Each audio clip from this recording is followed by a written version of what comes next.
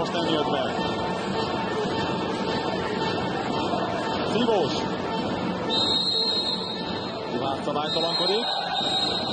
És Juhász a kiállított játékos, tudta ő pontosan, hogy ezért ez lesz a büntetés. Na, a Marci már is mondja, mit kell csinálni. Szívós. Csuk. Rapenszki. Az ott lövő helyzet. Erdélyi. Ez még nagyobb helyzet. És Szívós góljával. Hárommal vezet. A Cetefeger. Hát eldőlt a mérkőzés.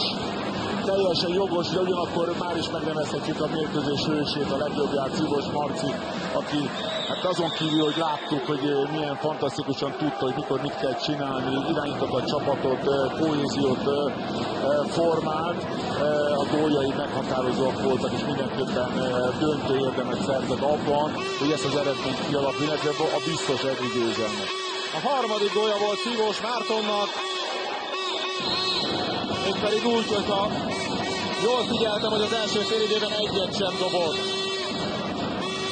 Hát egy ilyen játékosnak illik minden egyetben egy gólt lőni.